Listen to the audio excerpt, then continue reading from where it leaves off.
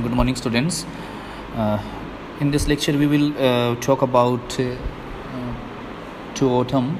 And uh, in previous lecture we have read first stanza of this poem and in this lecture we will talk about the second stanza.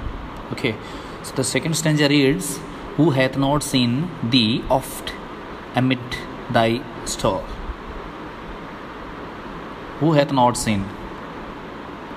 Who is there who has not seen you the the mean you oft oft mean often amid thy store. Who has not seen you amid thy store तुम्हें कौन है जिसने तुम्हें इन store के बारे में मतलब इन stores के बीच में तुम्हें नहीं देखा है? Mean store mean in the store of grain और maybe in the store of husk in the store of chaps like that here he is saying that uh, i mean he is personifying autumn that uh, the, the autumn has become a living creature here okay and uh, he usually is find in the stores i mean a store here uh, we can say जो store है वो यहाँ खलिहानों के लिए शायद प्रयोग किया गया होगा and sometimes whoever seeks abroad may find thee sitting careless on a granary floor. Okay. So, the, the first line of this stanza is a, a rhetoric question. Okay. यहाँ क्या है एक रेधोरिक क्वेश्चन पूछा है कि कौन है वो तुम्हें नहीं देख सकता तुम्हें कहाँ नहीं पाया जा सकता तुम हर जगह हो कौन autumn is everywhere and sometimes whoever seeks abroad may find and some sometime whoever जो कोई भी is going abroad abroad here abroad mean go out in countryside okay in the fields. And in uh, outer part of uh, the villages okay? So here abroad mean uh, not not mean that uh, going uh, to other country or other places.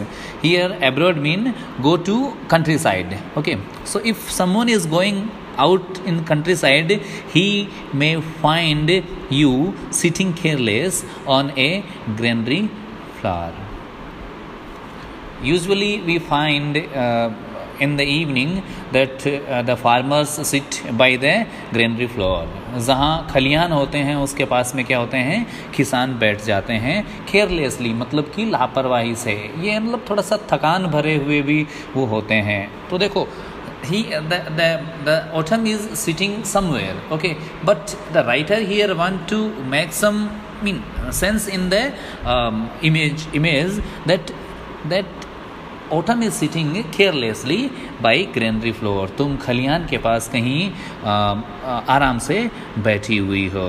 And following thy hair actually this is direct address to the autumn कि तुम्हें कौन नहीं देख सकता। है तुम ये हो, तुम ये हो, तुम वो हो। ठीक है? Thy hair soft lifted by the winnowing wind okay and die. your hairs are softly lifted by the winnowing wind winnowing का मतलब होता है जो हवा चलती है और जब हम किसी खलियान में देखते हैं। और इस समय में आजकल तो ऐसा नहीं देखने को मिलता, लेकिन पुराने ज़माने में ऐसा देखने को मिलता था कि खलियान में क्या किया जाता था? अनाज और जो घास फूस या चारा जो था, उसको अलग करने के लिए क्या किया जाता था? अनाज और चारे को ऊपर से गिराया जाता था। तो उसमें क्या होता था? जो अनाज होता था, वो सीधा ज़मीन पर गिर जाता था, भारी होते हुए। ठीक है? और जो बाकी जो हिस्सा होता था, जो हल्का घास फूस होता था, वो उड़ के दूर तक चला जाता था। तो यहाँ फिर से एक नई इमेज हमारे सामने आ रही है कि उड़ता हुआ कोई घास, खलियान में कोई उड़ता हुआ घास फूस या फिर चारा दूर जा रहा है। हर कोई तुम्हें देख सकता है, कहाँ देख सकता है? In the winnowing wind and your hair are lifted in the winnowing wind okay so यहाँ देखो कोई आदमी ऑटम हो नहीं सकता कि वो कहीं जाके बैठ जाए। नो no, ऐसा नहीं हो सकता। लेकिन हम इसका एक आइडिया निकाल सकते हैं या फिर एक इसका मतलब ये निकाल सकते हैं कि ओटम को देखा जा सकता है जब खेतों में फ़सलें निकाली जा रही हो अनाज निकाला जा रहा हो लोग खेतों में काम कर रहे हैं और अनाज को भूसे से अलग किया जा रहा है या फिर चारे से अलग किया जा रहा है। ओके एंड और on a harp rift furrow sound asleep. and you you can be seen uh, uh, the autumn can be seen on a half rift furrow furrow mean uh, uh, जैसे हिंदी में कहें तो हम uh, मेड़ ठीक है? कोई मेड़ होती है एक मेड़ दूसरी मेड़। दूसरी मेड़ों के बीच में क्या किया जाता है? अनाज बोया जाता है। मतलब जैसे हल चलाने के बाद में जो मिट्टी एक जगह ऊपर की तरफ़ उठ जाती है वो क्या कहलाता है? फूरो। तो ये एक तकिया बना के फूरो को क्या करता है? तकिया बना के and we we will find that the autumn is sleeping okay sound sleep आराम से चैन की नींद सो रहा है। जैसे कोई किसान काम करता हुआ क्या करता है? आ, उसको मेड को या फिर किसी जो फुरो है, उसको फरो जो है, उसको क्या करके तकिया बना के सो गया है। तो हम वहाँ भी क्या देख सकते हैं ऑटम को देख सकते हैं। And drowsed with the fume of poppies while thy hook spares the next swath and all its its twined flowers and हम देख सकते हैं कि खेतों में क्या किया जाता है कि बहुत सारा काम है वो अधूरा छोड़ दिया जाता है। ठीक है? The the farmer and the autumn become numb with the smell of uh, puppies. अफ़ीम की खुशबू, अफ़ीम के ऊपर जो फूल लगते हैं या फिर जो डोडे लगते हैं, उनकी खुशबू से ये बस, ये अपनी पतझड़ है वो सो गई है।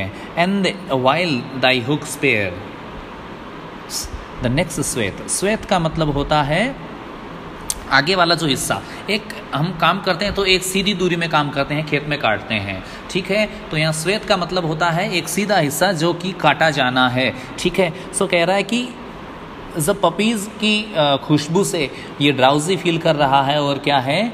आ, किसान सो गया है या फिर कौन सो गया है?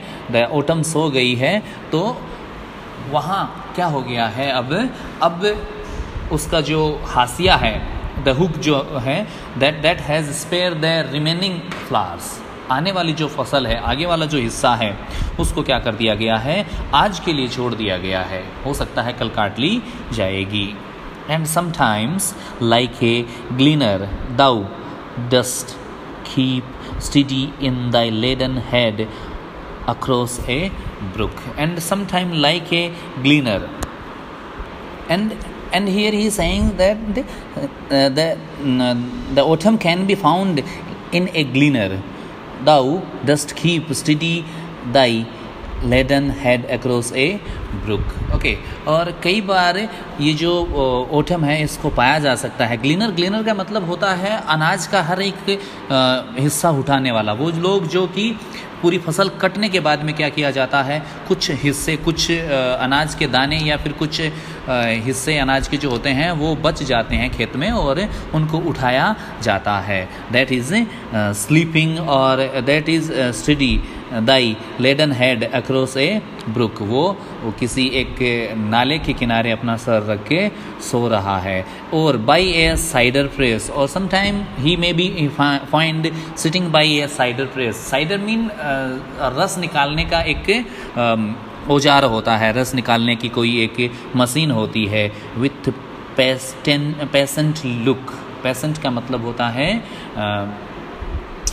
धैर्यवान धैर्यवान बन के क्या कर रहा है वो? किसी एक साइडर प्रेस के किनारे बैठा है। The watchest the last oozings hours by hours और वो देख रहा है ऊजिंग ऊजिंग का मतलब वैसे तो होता लास्ट ऊजिंग ऊजिंग का मतलब यहाँ है कि आखिरी बूंद मतलब जैसे जिसमें से रस निकाला जाता है, एक एक बूंद करके क्या कर रहा है, रस बाहर निकल रहा है। And he is sitting over there who there may be a farmer और देर में भी ओटम ठीक है? तो जो ओटम है वो कहाँ पाई जाएगी?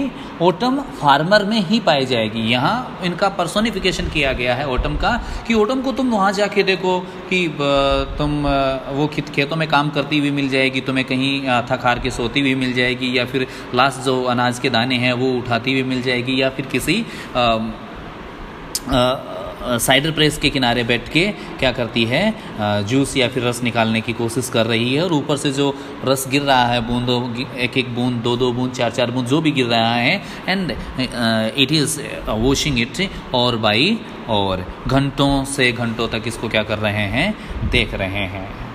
Okay so in this stanza he is the writer is addressing to the autumn and he is also addressing to the reader that you can go outside you can go to the countryside and you can find that uh, uh, how, how um, autumn looks like okay? And you, you, you can have a look of it. That is uh, uh the basic idea of this